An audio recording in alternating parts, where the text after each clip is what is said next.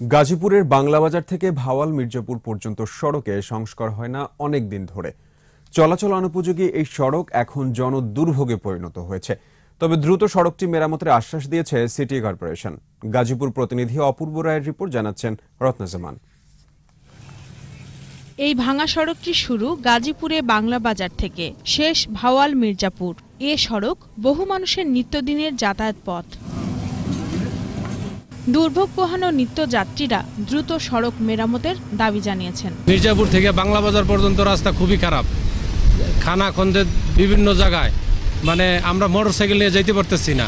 তা গাড়ি ঘোড়া তো চলা, কোনো রুগী টুগি নিয়ে যাবে এরকমও কোনো ব্যবস্থা নাই এখানে? গাড়ি চলতেছে এই সময় আমাদের আমাদের গায়ে কাদা এসে পড়ে স্কুলে যাইতে সমস্যা হয়। রাস্তাটা অনেক দিন ধরে পড়ে আছে ভাঙাচোরা হয়ে আছে কেউ ঠিকও করে না। পোল্ট্রি খায় তো মানুষের হাত পা ভাঙতেছে। সড়কের দুপাশে রয়েছে নানা শিল্প প্রতিষ্ঠান। সংস্কারহীন সড়ক পণ্য পরিবহনের অন্যতম বড় বাধা। জানালেন কারখানার সংশ্লিষ্টরা। বিদেশি ক্রেতারা যারা আসছেন তাদের প্রথম ইমপ্রেশনটাই এই রাস্তার কারণে খুবই খারাপ হয়ে যাচ্ছে।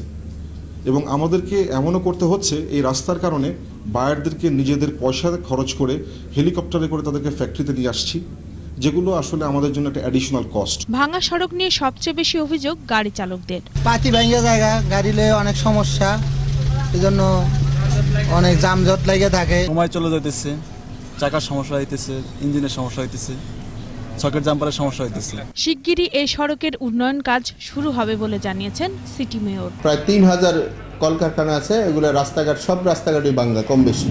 সেগুলো আমরা নতুন করে এখানে প্রায় পাঁচশো কিলোমিটার রাস্তার কাজ নতুন করে টেন্ডার দিয়েছি। রত্নজামান একুশে টেলিভিশন।